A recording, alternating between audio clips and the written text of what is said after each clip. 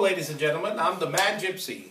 Finally, it's time for the gypsies to expose our true culture and our true cuisine to the world. We always wanted to show our cuisine and our love. We always done it with love and heart, and we enjoy all the people that surround us. I want to make a gypsy toast to you, the public. Budbach sastimos, aipachif tumenga.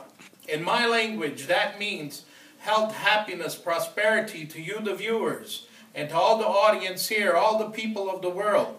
And Pachif Tumenga means this is from my heart. This performance is from my heart for everybody. Salute.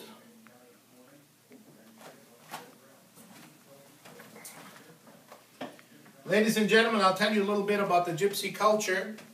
Uh, our forefathers walked and traveled, as you know, they traveled the whole country and all the world. And through these travels, they picked up recipes from all the different people. Well, they didn't pick them up, they actually stole them. So we're guilty of that. They stole the recipes, but then we made it ours.